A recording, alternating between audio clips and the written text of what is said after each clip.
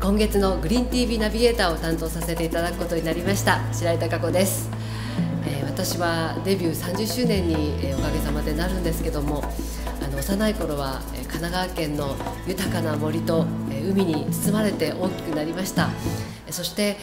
えー、ひとたび家に戻るとちょうど一回り上のあのおじさんが、えー、一緒に住んでたもんですから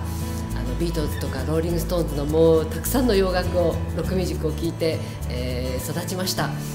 そんなこともあって、えー、デビュー30年になりますけどもこれまでこうどうしたら自分の大好きな音楽とそれから大好きな自然を自分の中で共存させてそれを一つの音楽として生み出していくかっていうことの葛藤だったような気がします。そんな歩みも含めて、えー、この番組でお知らせできたらと思います。よろしくお願いします。さて今週の気になる情報はこちらです。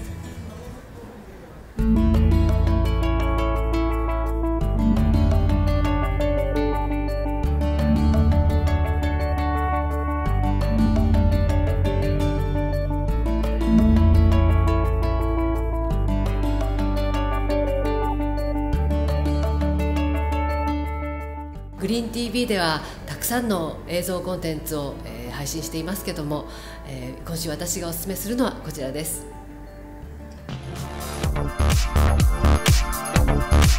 私はあのこの映像を見た時本当感動しました。まずは一番に音楽に反応してうわーピンク・ロイドだと思ったんですけどもあのその「The Wall」という曲の中で、えー、彼らが動いてるかっこいい映像これはもう本当に日々私もやりたいしあの時々もう人の家の電気だろうがどこでも切っちゃうんですけど そういうことをなんかあのブラックジョーク混じりにやってる彼らが頼もしいなと思いましたぜひ友達になりたいって 思うぐらいの本当素敵な若者で、えー、期待しちゃいます。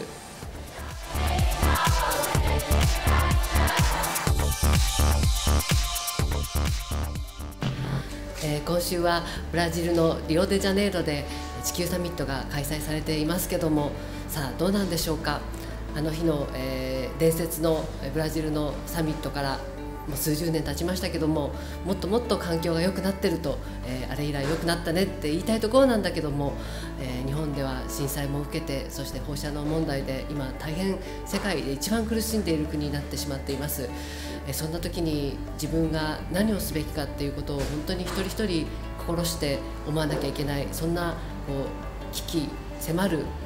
日々を迎えてんじゃないかと思います、えー、そんなことで、まあ、まずは自分ができることから始めようというね試合卓子でした。